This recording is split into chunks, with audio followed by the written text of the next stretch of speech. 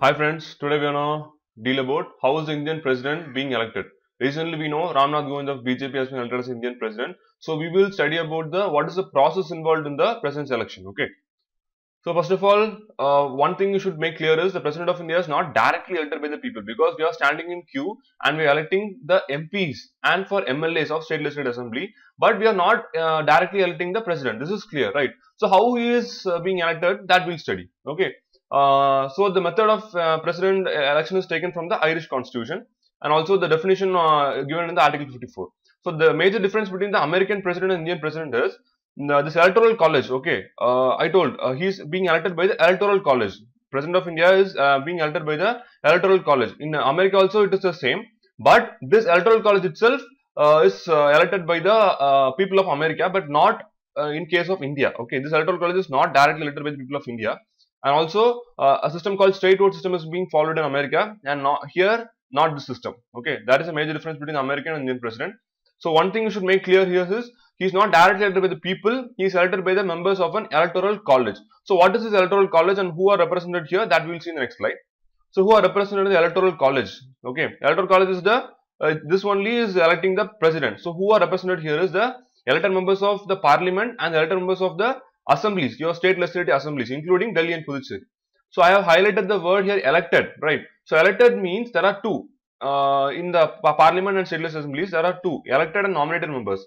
Elected means you are directly electing that members. Okay. Nominated means um, the, uh, the, the president can nominate mem some members to parliament and governor can uh, nominate some members to state legislative assemblies who are that members being nominated is uh, persons of special importance or uh, who have achieved or excelled in their fields. For example, Sachin Tendulkar is a Rajya Sabha MP, current MP. Okay, so he has excelled in cricket. So these are the nominated members. So my point is, those nominated members, say Sachin Tendulkar or Lata Mangeshkar, they are not entitled to take part in the presidential election. That is my point. Okay, so the only the elected members of the parliament and your state legislative assemblies takes part in the electoral college means they are only electing the president okay? Not the nominated members of the parliament or either your state legislative assembly okay? So there is something called value of vote. This is to um, what determine the parity between the state and the center okay? Uh, they have fixed some values the values for an mla vote. I told mla and mp are only involved in the president's election. So for uh, mp they have um, the value of vote is by this formula and for mla the one formula is there. And also something called electoral quota okay? If uh, if many candidates are contesting if only they are securing this number okay after calculating this you will get a number.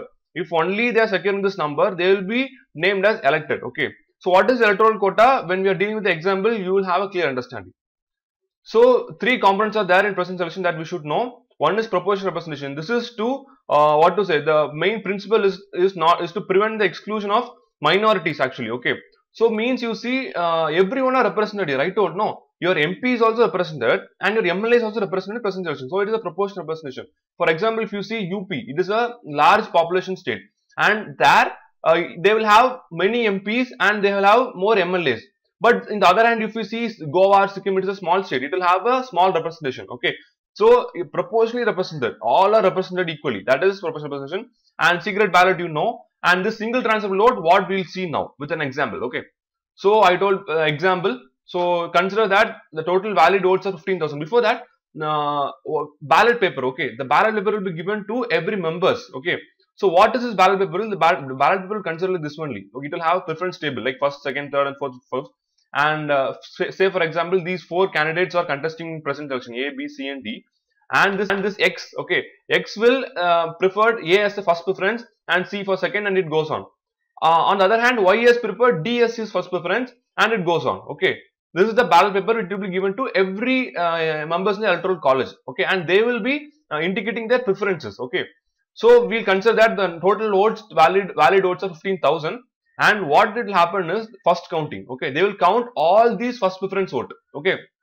These first preference vote of all the members of electoral college is being uh, first it will be counted okay? After that we'll assume that a has got some 5000 this vote and uh, this okay this is the uh, after first counting okay I have told, I have speak about the electoral quota, one formula, okay. Uh, based on that, we'll get the number now, okay. Electoral quota, total valid votes is 15,000, okay, divided by 2 plus 1 here. So, the number is 7,501. So, it is clearly understood that nobody A, B, C or D as far as our example, nobody has secured this number, 7500 number. So nobody is being elected now. Okay. So what happens is, see here the least is D. Okay. D has got the least vote, 2250. So what they will do is he's eliminated from the race. He's eliminated. Okay. So what happens is 2250 members have uh, are, are uh, made D the first preference. Okay. For example, see Y. Y has uh, done mm, D the first preference. So it will be eliminated and his second preference vote like C. Okay.